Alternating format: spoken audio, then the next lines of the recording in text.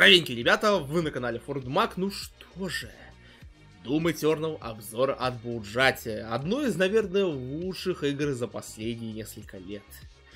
Блин, до сих пор самые смешные скандалы продолжаются, и все из-за саундтрека Мика Гордона. Блин, там реально какой-то звездец, я искренне не понимаю, что там происходит и как можно долго эту ситуацию рассасывать, но это не отменяет того факта, что игра просто охренительная. Как и Doom 2016, так и Eternal вышли отличными играми. Динамичным геймплеем, прекрасной графикой, отличной производительностью. Реально, блин, факт того, что эту игру запустили даже на сраном свече. И она работает там стабильно, просто ахтунг. Но давайте уже заценим, что же думает Буджать, что он нам поведает о данной игре. Погнали! О, здорово!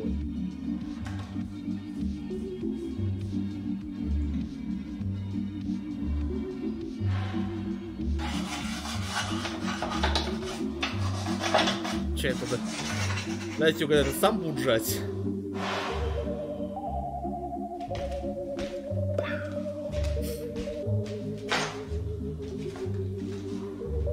Или это у нас... Или это у нас какой-то, как говорится, его знакомый, которого есть шикарный шлем.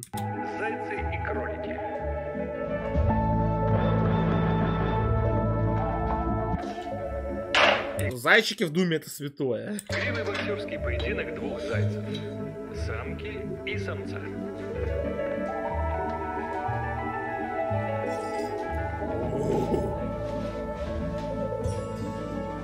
Эй, куда? Он светлее. Ты что, молока добавил, пуська? Подобный брачный ритуал может длиться часами. Это удивительное, но редкое зрелище. Зайцы исчезают с полей Европы. Теперь к главным новостям. Вирус распространяется по вселенной. Два дня назад был введен жесткий режим карантина в измерении ада. Альтернативно живых просят оставаться дома и не пользоваться порталами в другие миры.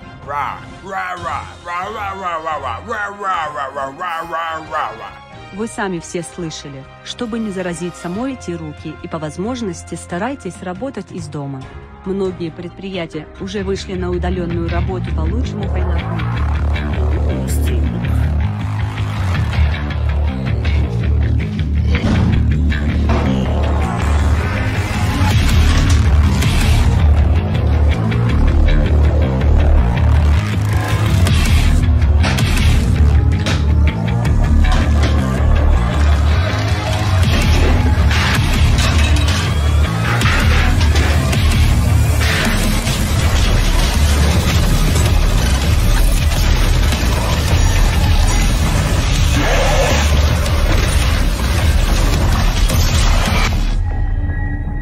Ебать, мне вынесло уши, но это было прекрасно. Ух. Посмотри-ка. Все, больше нет моих сил. Удаляю на четвертом уровне. Хватит меня давить с этим. Задарили за день рождения этот кусок распиаренного не дума. Поверьте, я знаю, о чем говорю. На первой плойке были первые части в детстве. Вау, оказывается, серия может быть более быстрой, более динамичной. Охереть, чел. А что ты, блядь, ожидал, а? Ты что, ожидал, что геймплей останется таким же, как в первой части? Но, я так понимаю, он говорит про этот Final Doom на первой плойке. То есть, сука, он серьезно, блядь? Серьезно думал, что этот геймплей более такой медленный, более размеренный шутерный геймплей первого Дума останется? Он все еще хорош, не спорю, но... Серьезно? Все просрали. Спинномозговой шутер просрали, ты понял, а? Желтый цвет в игру добавили, все для ЛГБТ теперь, атмосферу испортили, где-то гляди, ля, во, во, во, вон, видишь, видишь, вынули, вынули нас из железных коридоров, это ж надо, а, не? Не, ну вот как они могли, вот все, что от них требовалось, это добавить новых фишек в игру, а они что сделали? Они добавили фишки в игру, которые я не хотел, я хотел другие фишки, мне не нравятся, ой-ой-ой-ой, где мой реализм? Я люблю дом за реализм. Я вот специально 40 минут поиграл, в окно выглянул. Реализм? Вы вообще, блядь, в первую Думу играли? Там реализмом даже, сука, и не пахнет. Там, блин, ебаные, огромные, летающие, как демоны, с, э, которые выглядят от, отчасти, ну, кому-то, может, пугали, но мультяшные. Там не пахнет, да и здесь. Где здесь нету реализма, блядь? Здесь и так графон на таком уровне, что глаза, как говорится, аж лезут. А там не так, я недоволен. Что они вообще сделали с Прошу Doom 16 года не испытывать атмосферу удовольствия. В Doom должно быть страшно, как вторжение ада. В общем, для меня Doom — это Doom 2003 -го... А, ну понятно, у нас фанат Doom 3. Я не против таких фанатов, но... Doom — это не чистый хоррор. Doom — это, блядь, шутер. Шутер. Главное, чтобы он был, говорится, динамичным, вам приятно было стрелять. Потому что чем цеплял Doom? Именно вот... Эм... Doom 3, тем, что это был очень неплохой ужастик. Но никак не классический Doom. Опять же, я могу понять, кому нравится Doom 3, но, опять же, на любителя. И страшный сюжет играешь на все. Э, заплаченное бабло. Да, то, что видел Doom Eternal, лучше вообще не видел. Какая-то ЛГБТ-игра с разноцветными пидорами, из которых сыпется какая-то разноцветная хуйня, херово туча непонятного арсенала, огнемета, ножи, заброска демонов. До свидания. Рим Doom 3 испортили классику, суки. Негативные отзывы о Doom Eternal это самое смешное, что я недавно читал. Добро пожаловать в лес ретардов, где слишком сложно играть на самом высоком уровне сложности. Сложно играть на высоком уровне сложности, блять, нет, сука. Сложно, блядь, э, срать, когда ты нажрался всякого говна, у тебя запор. А это, блядь, а что ты хотел? Тебя по голове такой прилетит как демон с нимбом на башке, такой, знаете, святой как демон, святой как дья, это не дьявол, э, как ангел, как ангел прилетит такой с э, нимбом на голове, погладите по головке, все будет хорошо, все будет легко. Сука, ну что... Internet retardation. Welcome to the internet retardation. Мне нужен, блядь, Филфи Фрэнк, чтобы с этим говном выжить.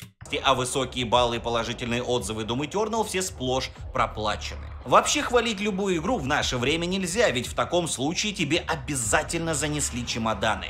Меня вот тоже недавно спалили. Я вот в 2020-м решил пропиарить Вангеров 93-го года, у них же до сих пор рекламная кампания идет. А, еще мне принесли две коробки с деньгами за рекламу сервера в Майнкрафте. Я, правда, не сразу заметил коробки на фоне остальных, но это даже хорошо. А вот теперь ролик по Doom Eternal проспонсирован Министерством обороны Российской Православной Церкви, так что я вообще в шоколаде, а вы без претензий. Могу игру хвалить сколько угодно, поэтому сейчас я с религиозным рвением буду продвигать учение аркадных шутеров, а всех несогласных в печь. Возможно, вы подумаете, что я сейчас буду рассказывать про то, как здорово взять в игре оружие, стать пациентом дурки без мозга, рвущегося в бой на десятки противников, крошить всех... Есть такие, это, геймплей какой-то слегка замедлен, наверное, потому что просто FPS очень такой низкий. Фарш, не обращая внимания на сюжет, но нет, про Call of Duty мы поговорим в другой раз. Ведь я поведаю вам об аркадных шутерах, которые намного сложнее и продуманнее, чем спинномозговое кино про войну. Несмотря на сложившееся мнение, аркадные шутеры далеко не тупые, они просто про геймплей и скилл игрока. Да-да, я знаю, это сейчас не особенно популярно. Первые аркадные шутеры, такие как Doom и Wolfenstein, поощряли реакцию и скорость. У противников были стартовые позиции, слабости к определенному оружию, которые можно было заучить и погрузиться в непрекращающийся поток движения. И чем больше ты заучиваешь, тем плавнее и брутальнее ты проходишь уровни. Это... И самое смешное, даже первый Doom до сих пор охрененно играется. Реально, блин, вот многие говорят, смотрят на первый Doom и думают, типа, как в это играть можно. Мой вам совет, ребятки. Поставьте такую вещь, как э, Brutal Doom, играйте, сука, в удовольствие. Это будет просто незабываемо. Сейчас сурс портов и прочего, как говорится, контента под э, старые думы дофига.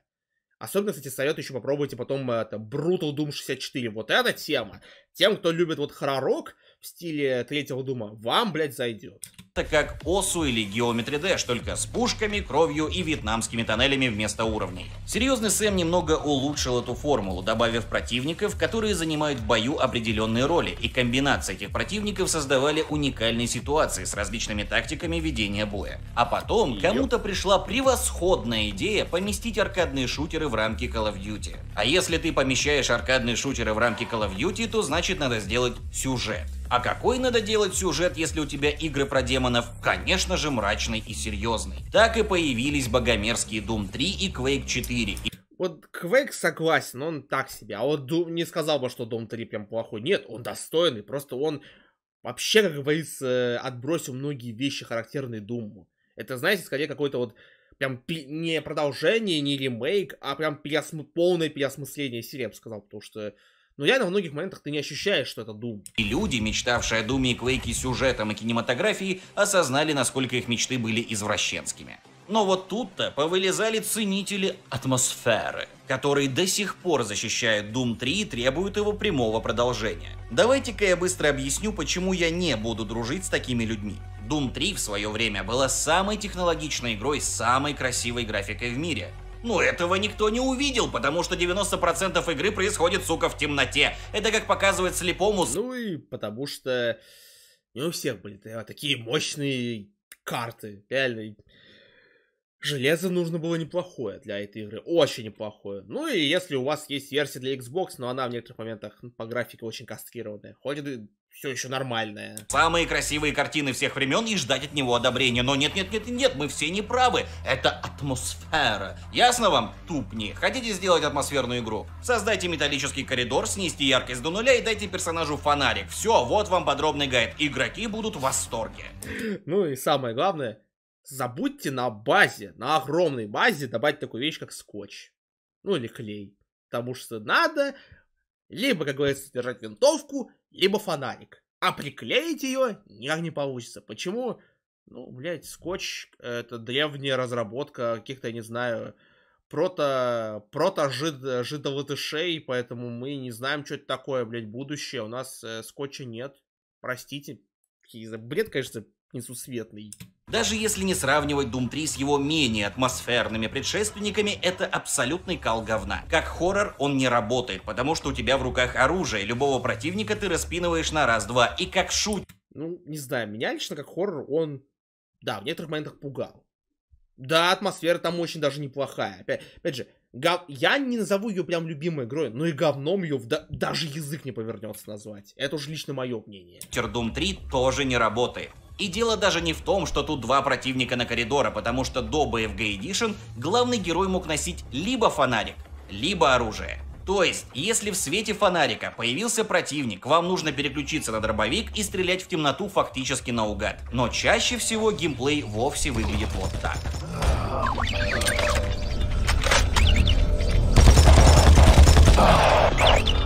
Вам понравилось? Атмосферно? Классно? О, еще бы, ведь после таких атмосфер Quake решили возродить как неудачный онлайновый шутер, а Wolfenstein отдали на эксперименты. Ну и, кстати, последние два Wolfenstein умудрились быть Call of Duty подобными и при этом задорными, но все равно, боже упаси, во что вы превратили? От лукавого, блядь. А что же сделали новые авторы Doom? А они все сделали максимально правильно. Сначала они хотели сделать драматическую историю про людей, борющихся с демонами, но чуть позже подумали и сказали, не, убираем катсцены с вертолетами, добавляем геймплей. И Doom стал игрой для беспредельщиков-интеллектуалов. Видите ли, какое дело? Если у тебя есть деньги на касцены режиссера, то ты уже можешь сделать неплохой клон Call of Duty, а если еще и роботов добавишь там или суперспособности, то это уже Тем уникальная более. игра по заветам. Но если ты вбухаешь все деньги в аркадный шутер, сотни пулеметов и миллионами противников на локацию, ты глубоко лососнешь. Хотя, казалось бы, этого же все хотят. Чтобы было громко, много, просто и кроваво. Но это действительно скучно. Пример... Просто и кроваво? Нет уже, блядь, спасибо. Нам нужен челлендж, грамотно построенный, буквально. То есть не просто тупо раскидать врагов, а действительно рассчитать то, как они будут двигаться, позиции, арены, которые будут действительно заставлять тебя постоянно выживать. И грамотно пользоваться как такими возможностями, так и оружием. Потому что вот реально многие люди думают, что Doom это прям максимально тупая игра в своей, как говорится, основе. Что в ней нет ничего такого, что заставило бы как-то тебя думать. Хер там плавал. Либо ты запоминаешь что? Как работают арены, как работают противники, против, как говорится, чего эффективнее используется какое-то определенное оружие, определенное оружие. Тогда ты жилец. Если ты все это поймешь, раскусишь и, как говорится, осознаешь, ты жилец. Если ты просто понадеешься на то, что ну мне, блядь, повезет, то, блядь, типа пушка большая, тогда пиздуй нахуй отсюда. Примеров таких аркадных шутеров десятки, и везде разработчики делали одни и те же фатальные ошибки. Делали глазовырывающий дизайн противников и оружия, но совершенно не знали, как их правильно использовать. Противники были однотипные, закидывались Ой, мясом, а... Блять, фу, дай катаны, уберите, пожалуйста. Ведь самое смешное это делать человек, который занимался думами. Ромеро, какого хера? а большая часть вооружения не использовалась в принципе. Такая методика подходит для Crimson Lance или Alien Shooter. Ты в них играешь несколько дней, тебе все нравится, но про нее ты максимально быстро забываешь, ибо на многое такие игры не претендуют, да и ты от них ничего особенного не ждешь. Сделать хороший аркадный шутер намного сложнее, чем Call of Duty с искусственным интеллектом у рыб. И такое ощущение, что мало кто это понимает. Все до сих пор кричат, что Doom это просто дробовик и просто кровь. Но что нам показали в Doom 16? Разработчики сделали рейдовое подземелье в MMORPG, только босс рейда это протагонист, а пати игроков это противники. Демоны в Думе несут за собой определенную функцию. Кто-то танкует, кто-то харасит издали, кто-то сопортит своим, а кто-то, по всей видимости, изображает нуба. Как и в серьезном Сэме, комбинации противников побуждают использовать разные тактики, разное оружие и разное перемещение по арене. Ведь ландшафт в аркадных шутерах тоже играет немаловажную роль. К тому же разработчики прикрутили такую замечательную возможность, как добивание. Не просто для жестокости, но которая делает противников полезными. Ведь сломав демону шею, вы получите здоровье или патроны, а это заставляет рваться на передовую и постоянно находиться в сражении. Именно поэтому, в отличие от Call of Duty или Gears of War, в аркадных шутерах нужно учиться думать стремительно. Ты не расстреляешь всех из укрытия, не восстановишь себе здоровье просто отсидевшись. Тебе нужно постоянно двигаться, постоянно держать кучу переменных в голове, выцеплять самых опасных противников, создавать цепочку действий, запоминать, где лежат патроны и аптечки и мгновенно принимать решения. И это все еще для вас простой жанр? Магия в том, Нет. что все это может звучать Нет, сложно, но осваивается интуитивно. Нет, даже не надейтесь на это. Эх, я так на самом деле думал, на, когда скачивал первый раз Doom, первый раз пробовал, думал, что сейчас, в принципе, будет нормально. Ну, ну шутерок, ну что такого, что мне сложно могут дать, а? Я еще никогда так в жизни не ошибался. интуитивно. И как в лучших представителях игровой индустрии, Doom легко освоить, но трудно стать в нем лучшим. Когда разберешься и привыкнешь, начинается тот самый эффект спинномозгового месилова, о котором все говорят, или если по-новомодному, ловишь флоу. Doom 16 в этом был хорош, но он долго раскачивался. Пока разработчики вывалят всех противников и оружие, пока игрока научат чё к чему, игра уже заканчивалась. Doom Eternal, о котором я наконец-таки начинаю говорить, эту формулу улучшил. Он уже не учит игрока. Вот дробовик, вот крокозябра, что делать разберешься сам. И этот дух стремительности происходящего не уходит до самого конца. После Eternal Doom 16 ощущается ну дико медленным. Все дело в том, что разработчики из id Software убрали ненужное приседание и добавили одну простую вещь.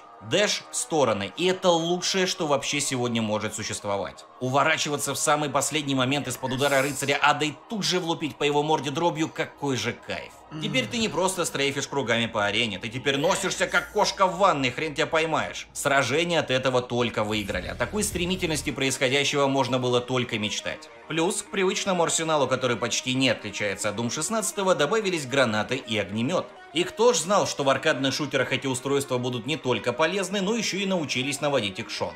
Я вообще не любитель гранат, я про них обычно забываю, но противники в Eternal бьют заметно больнее, чем в прошлой части. Засиделся пару секунд, уже пол здоровья нет, поэтому взрывать или замораживать особо вредных демонов, чтобы выбить себе паузу на полечиться и собрать патронов, вы будете часто. Но не только здоровье мажете Кстати, факт того, насколько говорится здесь а, очень грамотно сделаны сами арены, и что многие из этих фи... из многих фишечек, типа вот те же это лезвия, например, которые можно по нажатию кнопки вывести, грамотно работают. Если вы поняли этот тайминг, если вы грамотно подгадали и поместили врага туда, все. Пожалуйста, кровавое месиво. Если вы почувствовали этот самый флоу и как сказать, ощущаете эти самые арены. То есть, я не знаю, как это описать, это нужно именно попробовать.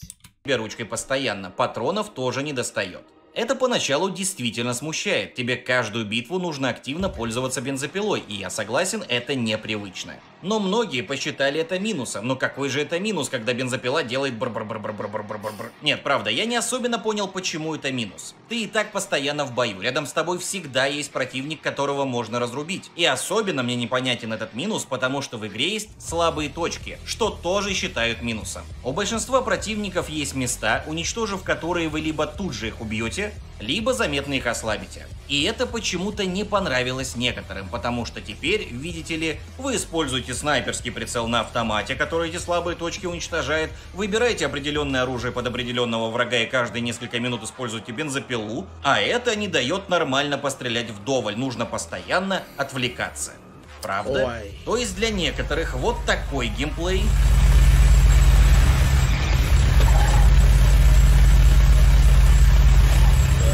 лучше, чем вот такой геймплей.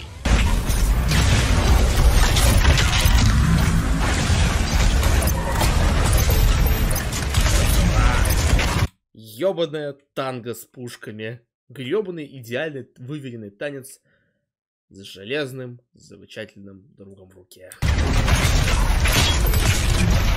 id Software создали Что вам еще нужно для счастья, суки? Вполне очевидную штуку. Сделали все полезным. Здесь нет стартового пистолета, которым бы никто не пользовался. Здесь каждое оружие используется в течение всей игры, что вообще феноменально для любого шутера. Причем у вас все равно остается пушка-фаворит, с которой вы бегаете большую часть времени. Eternal не работает по схеме «дай мне дробовик и будет нормально». Теперь надо жонглировать оружием Да, конечно, FPS немножечко здесь, ну, жопушный, но это ладно, в принципе, могу понять. и модификациями, сносить слабые точки, запоминать какой снаряд сколько сносит и как скомбинировать урон, чтобы быстрее всех выпилить. Ну и конечно ты теперь не будешь экономить бр-бр-бр-бр-бр на самый критичный случай, потому что критичный случай теперь случается в каждом бою. Адреналиново? Для любителей зажать гашетку и бегать кругами это, конечно, сложно, сложно, непонятно. Но разве такое разнообразие внезапно делает геймплей Doom Eternal скучным? Серьезно? Ну да, это же не Call of Duty, где одни и те же модели врагов с одной и той же тактикой использовались 10 лет. Привычно же зато. Это же не тот взрывоопасный геймплей Дума 3, где ты стоишь за углом, выстреливая всех по одному. Это скучнейший Doom Eternal. Прыгаешь вот это вот везде. Low munition постоянно, потому что надо целиться в противников, а не рядом с ними. Как же отвратительно. Я действительно не понимаю, как можно назвать Doom Eternal скучным. Тут даже для всего есть внутриигровые советы и гайды. Даже хреновые комнаты симуляции из Rage 2 прикрутили, чтоб не ныли, чтоб разобрались. Но нет, скука смертная. При этом для таких душнил даже есть читы, которые нужно находить на уровне, которые вообще никак не влияют на прогресс. Если нашел, пользуйся когда захочешь. Создавай тот геймплей, который хочется. Хоть стой на одном месте изображай турель. И, кстати говоря, чит на скорость я бы сделал постоянным. Сражения под спидами становятся еще лучше. Основной геймплей в Doom Eternal не просто хорош. Он выверен, вылезан, блестит и вкусно пахнет. Здесь все устроено в угоду скорости и экшена. Даже тот самый ненавистный многим платформинг. Единственный его минус – это анимации. Они действительно выглядят кривоватенько, и проблема не в том, что непонятно куда прыгать, а в том, зацепишься ты или нет. Эта проблема не фатальна, к ней можно привыкнуть. Но хочется, конечно, чтобы в такой прекрасной игре и механика прыжков работала идеально, а не мозолила глаза. Ну, тут действительно можно это подправить. Возможно, в принципе, они думали, что это не особо важно будет, что, типа, мало кто заметит, но... А, да, нужно как минимум поправить, сделать анимацию как-то плавнее, что ли. Да и все балки зачем-то позолотили. Не, ну понятно это, чтобы они были заметны в окружении, но зачем делать из них объект цыганского вожделения? А вот сама концепция местного паркура мне более чем нравится. В сражениях балки придают еще больше динамики и подвижности, а между сражениями паркур поддерживает стремительность передвижения, а не заставляет по 5 минут бегать туда-сюда, как в Doom 16. Да и на самом-то деле паркурных этапов не так много, чтобы называть Doom Eternal Марио с пушками. А даже если называть, то почему это вдруг плохо? Это изумительно. Если в следующей части разработчики доработают паркур и приблизятся к дефрагу, я орать буду от счастья. Потому что дефраг — это волшебство, это скилл, это надо обязательно. Bethesda, если слышите, пацанам нужен брутальный дефраг, дворами просим. Так, сразу. Ай, блять, обожаю дефраг. Ну и Банни Хоупу тоже. Я, я, я обожаю подобные уровни. Есть них какая-то, я не знаю, магия. Когда ты просто скачешь как ёбнутый, пытаешься удержаться на этих платформах, и при этом все это гладенько, блядь, как по маслу. Набираем 2 миллиона просмотров и лайков, выходим в рекомендованных у Тодда Говарда и делаем следующий Doom Infinite какой-нибудь вместе с id Software, не упускаем такую возможность. И кстати, паркур в Doom Eternal является частью следующего распространенного минуса. Похеренная атмосфера. Doom 16 ругали за однотипность и скучность локаций, и справедливо. Там был Красный Ад, Красный Марс, серая лаборатория, синяя лаборатория, серый завод с желтым освещением и серый завод без освещения. Не, ну, в принципе, скажу так. а, мне, понрав- мне нравится думать, э, ты, первый Doom, вот имеется в виду 2016 года, тем фактом, что он выдерживает атмосферу до максимума. То есть реально такая лаборатория. Строгие коридоры, да, где-то залитые, как говорится, кроваво-красными, а яркими цветами из-за того, что там Марс, либо из-за того, что там переплавка идет. Мне это нравилось, я не знаю, мне лично внешность Дума именно 16 года действительно нравилась. Вот какой-то, знаете, вот, она одновременно такая сдержанная, технологичная, но в некоторых моментах прям такая кровавая, жесткая, когда, говорится, все дело доходит до ада, это прям вообще мое почтение. Это даже звучит скучно, но как внезапно оказалось, в Doom 16 был реализм и мрачность, за которую опять же оказывается, все Doom 16 и полюбили. Появилась эта любовь, правда, только с выходом Doom Eternal, Угу. Ну, это как в Джорджи, что, типа, выходит новый опенинг, ебаное говно, что это за говнище? Как это слушать можно? Вы чё? Что за кал? Следующий опенинг. Фу, какое говно. Что за, что за опенинг? И... Блять, а предыдущий был пиздатый. Вот это было пиздато. Сделано круто, классно, атмосферно. А это... Что за говно? И так по кругу, блядь, начиная с Чейза. Ёбаный рот. Я, блядь, я не знаю, я уже заебался, честно говоря. Но, блядь, э, тот факт, что как только что-то меняется, хоть чуть-чуть, сразу начинается, раньше, блядь, было лучше. А, стоп, нет, раньше было хуёвее. Нет, теперь хуже, а раньше, вот там, не знаю, позавчера было лучше, хотя позавчера до этого было говно.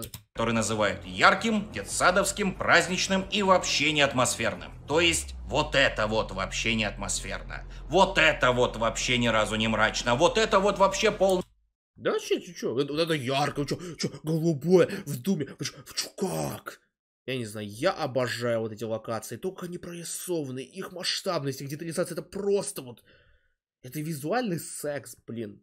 И вот это называть, как говорится, не атмосферным, вы... Я не понимаю, вам что, сука, нужно в черном, черном коридоре? Черный, черный. Экранизация Netflix. Думгай с черным, черным пистолетом ищет черного, черного. Опять же, экранизация Netflix демона, чтобы зачернить, зачернить его душу черной, черной пулей в черную, черную шопу. Я просто реально, а что вы хотите? Копипаста детского сада Росинка. В чем похеренность атмосферы? Я... А, точно, цветной интерфейс. Патроны еще умеют не только в оранжевый, а еще ловушки и платформы, как из детской аркады. Да, не дела, не дела. Это самый тупейший надуманный минус, который вообще кто-либо мог придумать. Почему ты не играешь Doom Eternal? Да там патроны синие бесят. Как? Doom Eternal находится во вселенной, где первый Думгай бегал в смешном шлеме с дыркой для пуза в броне и стрелял из дробовика розового монстра по кличке Какадемон. У этого же главного героя, который голыми руками разрывает демонов, был ручной домашний кролик, который погиб из-за вторжения ада на землю. А отцом Думгая является парень, который в детстве собирал космические корабли из банок и расстреливал зеленые сопли с глазами. Вас все еще смущает цветной интерфейс в кровавой игре? Не, я бы понял, если бы интерфейс настолько сильно выбивался, что его невозможно было бы игнорировать, но ты его просто не замечаешь, пока следишь за десятком демонов сразу. Ну никак он не может разрушить серьезную атмосферу. Знаете, где атмосферу действительно похерили? Вот чтобы вам было с чем сравнить. В серьезном Сэме 2, да, превратив вот это в вот это. А... Ну, тут, блядь, даже не поспоришь. Как бы не был хороший геймплей, но... Ёбаное, укуренное месиво с попыткой пошутить во всем, про все. Не знаю, как бы, знаете, сделать свой, собрать, знаете, укуренную версию Шрека, где мы смеемся над тем, над этим, над тем. А в итоге, блядь, в некоторых моментах вообще не смешно. От былой брутальности не осталось вообще ничего. Одна клоунада с попугаем срущим на ноги. Так что с атмосферой в Думе все в порядке. Она по-обычному брутально, серьезно и бесхитростная. И вот это, как по мне, уже можно вписать как недоработку. Дело в том, что разработчики решили расширить лор и сюжет. Но сделали они это, ну, очень скромненько и боязливо. Не было бы этого лора, никто бы и внимания не обратил. Ну, все по заветам Кармака, типа шутеры это порно и прочее-прочее. Но лор добавили. Причем лор такой, что он начинается чуть ли не с рождения галактик. Там лазят какие-то космические титаны, из которых рождаются другие титаны, которые рождают еще каких-то существ, которые в конечном итоге создают какую-то неведомую хренотень. Потом из этого вытекают локальные сторисы, Игра Престолов с Властелином колец и Звездными войнами в одном флаконе, и подается это все в документиках, которые нужно искать по уровню. Будете вы это читать? Не думаю. Поможет вам весь лор проникнуться Думгаем его вселенной? Тоже нет. Это просто ну, тут, как говорится, кому как. Честно, я особо не люблю документы а, в отношении того, когда, знаете, там вот, а, вам дают игру, типа вы втягиваетесь, но в итоге, а хочешь понять сюжет? Вот тебе тысяча бумажек, которые ты сначала должен найти, потом почитать, потом все это все скомпоновать в своей голове, чтобы понять единый сюжет, И вот тогда мы уже с тобой поговорим. А может, не поговорим. Я не люблю такое говно, честно говоря. Ну, где-то, понимаете, в некоторых играх это еще как-то работает. Окей, кое-как с натяжечкой это работает в Breath of the Wild. И то со своими минусами, потому что реально сюжета самого там а, с Гулькин член, хоть и геймплей великолепно выточенный, прям в- как надо, но весь самый сок о том, что происходит с принцессой Зельдой, почему там в королевстве все это говно происходит, нужно именно что изучать по дневникам. Просто монолит информации, который читаешь чисто из интереса. Но из этого лорного монолита проистекают события, которые показаны в игре катсценами. Мы встречаем какого-то короля один раз, какого-то предателя один раз, видим местные вьетнамские флешбеки два раза. Информативно? Нет. Важно? Нет. Интересно? Весьма. Вот ты смотришь на этого короля, например. Кто он, что он, почему он синюшный, идешь в документы, читаешь про короля, а там написано «Был король, суровым был, да умер вот». Вау! Интересная особенность у этого лора, ты вроде его читаешь, а ничего не узнаешь. Хочется же ведь больше. Тут намекают про какие-то личные драмы, но не показывают их. Тебя все время убеждают, что все страдают и этого не изменить, но те выжившие, кто может страдать, этого особо не делают, они просто сидят грустные или ошарашенные. И почему мы должны вдруг переживать, не совсем понятно. У Думгая есть только одна мотивация – убить всех демонов, и эта мотивация не дополнится ничем другим, и это хорошо. Ведь Думслеер в Eternal просто потрясающий. Его харизматичное молчание уделывает всех Морганов Фриманов. Он настолько брутален, что может сесть и играть в Animal Crossing или баловаться с куклами. Ему никто ничего не скажет, потому что он пальцем головы крошит. И был бы здесь только похеризм Думгая, который рвет шаблоны окружающих, все было бы нормально. Но нам кинули в лицо статистов, намекнули на глубину и драматичность происходящего и решили, что этого будет достаточно. Нет, недостаточно. Из заведенного лора и персонажей ты тут же Эх, у нас же там еще дополнение есть, которое вроде бы неплохо, а вроде бы вообще не в кассу. Не знаю, честно, я не воспринимаю дополнение как что-то прям-таки нужное. ощущаешь, как не смогли или даже не захотели реализовать заложенный потенциал истории. Тут мог развернуться мега пафосный драматический эпос, который высмеивался и разрушался бы прямолинейным Думслеером. Ведь когда мы играем за Думслеера, мы не восприимчивы к драме и всеобщим страданиям. Мы слишком круты для этого, в отличие от всех остальных. Знаете, как я вижу идеальную сюжетную схему в Doom? Вот есть, например, смерть Муфасы в Короле Льве, да? Мы уже все страдаем, не можем прятать слез, нам всем грустно. Но приходит Думслеер, вырывает мозг Муфасы и пересаживает его в гигантского робота, который помогает Думслееру уничтожить злобного демона. Муфаса теперь супер крутой робот, шрам разорван пополам за предательство, а голова главного демона теперь висит на стене трофеев. А как грустно-то все начиналось. И вот примерно вот такое в игре есть, но в очень маленьком количестве и не до конца докрученное. И получается, что ты постепенно готовишься к чему-то мега крутому в сюжетном плане, что сейчас понесется волна эпичности и космических масштабов, но история в один момент застревает и больше не двигается. Сценаристы свели все к убей их всех а ответы на вопросы дадут в следующей части. Человек благоразумный скажет, что сюжет никогда не являлся сильной стороной в аркадных шутерах, и будет прав. В Doom Eternal на троне сидит геймплей, и его величие затмевает все мелкие косяки и придирки, которые можно найти в игре, и сюжет в том числе. Но это сработает только в этот раз. Если в следующей части софтер не разовьет историю и не придумает, как ее грамотно интегрировать в механику аркадного шутера, то игроки припомнят все God of War с Last of Us. Геймплей уже идеальный, пора развивать другие сферы игры. И, кстати, не только сюжет, но и мультиплеер тоже. Не знаю, что там случилось в студии, но они решили отказаться от всех привычных мультиплеерных режимов в пользу одного нового. И сказать много чего про него не получится. В режиме с оригинальным названием Battle Mode играет три игрока, два демона против одного Думгая. В течение нескольких раундов демоны, кооперируясь, пытаются уничтожить Думслеера, вызывая демонов-помощников, строя против него многоходовочки и используя свою демоническую магию.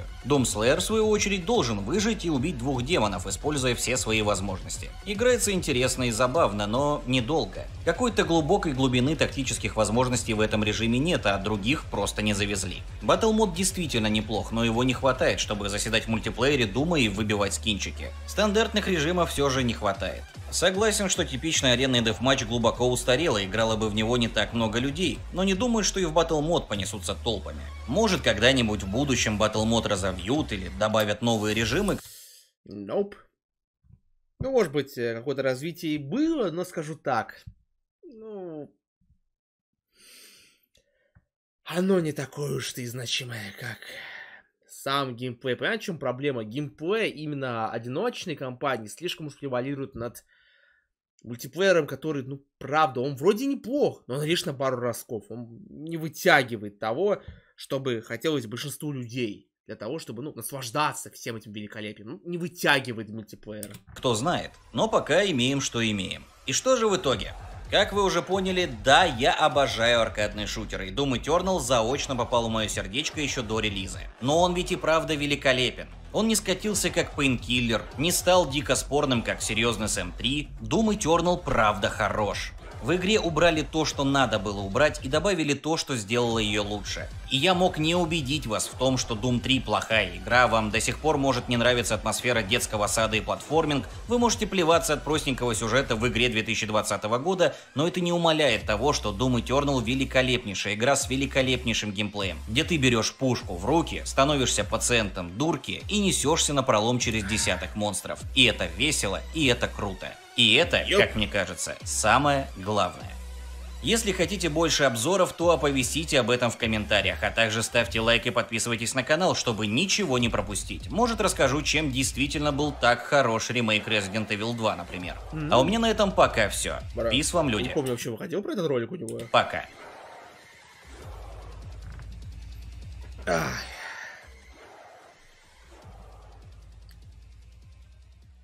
Ну, что же, ребята, вот такой вот он, лучший обзор Дума Eternal. И во многом я реально соглашусь. Ну, кроме позиции по поводу Doom 3 и несостоятельности других вещей, это прекрасная игра. Это реально великолепная игра. Отлично, с динамическим, прям очень динамичным, быстрым, чокнутым геймплеем, который вам нужно опробовать, понимаете? Просто лучше не слушайте людей, которые вам говорят, что он либо супер хорош, либо супер отвратительный. Вы должны сами взять и опробовать его. Прям хотя бы разочек. И тогда вот вы поймете и почувствуете, нравится вам такое или нет. Так что тут дело во многом вкуса. Но лично я, я, блядь, полюбил этот геймплей. Он хорош, он выверен, он классный, он не отпускает тебя, блин, буквально бьет за шкирку, как котенка. И пока, как говорится, это, ты дойдешь да, говорится, либо конца, либо, ну, не устанешь, само свои глаза не устанут, там, пальцы тебе стоят от контроллера или от мышки с клавиатуры, что лучше уж, как говорится, намного лучше. Реально, играйте лучше в класс мышью. И тогда он тебя, может быть, отпустит. Может быть, но в любом случае ты все равно вернешься. Возьмут тебя за шкирку и снова вернешься, ибо это, сука, охренительная игра. Ну, в отношении графики вообще молчу. Движок реально хорош, настолько хорош, что он даже запускается на слабеньком железе портативной консолечки. Поэтому, ребята, обязательно пробуем эту игру, поддерживаем блуджате. Само собой, подписочка, лайк, побольше комментариев для продвижения видео. Не забываем про колокольчик, чтобы не пропускать новые реакции. И спокойной ночи, дружки-пирожки.